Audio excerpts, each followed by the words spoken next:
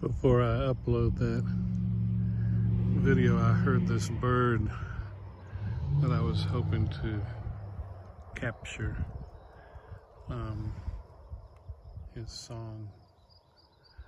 It's so quiet here at the cemetery.